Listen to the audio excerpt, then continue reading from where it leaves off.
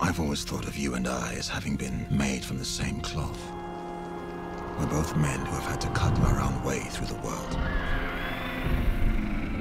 Gods give just as the gods take away.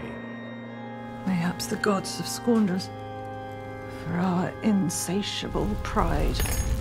You're looking to place blame for an act of the gods.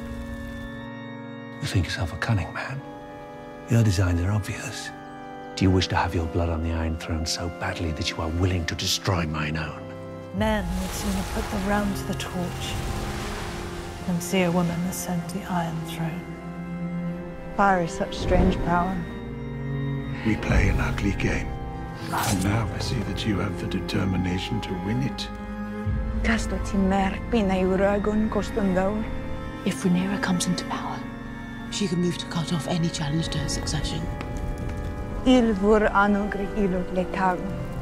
Hen pranot chimerir zala For as his spirit left us, King Viserys of House Targaryen, he whispered his final wish. But the people remember the ancient strength of House Targaryen. Those vipers rule in my father's name. His firstborn son, Aegon,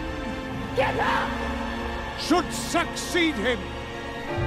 To choose violence here is to declare war. The threat of war looms.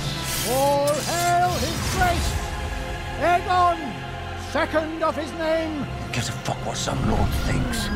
You are the dragon. Your word is truth and law. Have you never imagined yourself on the Iron Throne? I'm next in line to the throne. Should they come looking for me, I intend to be found. Dreams didn't make us kings.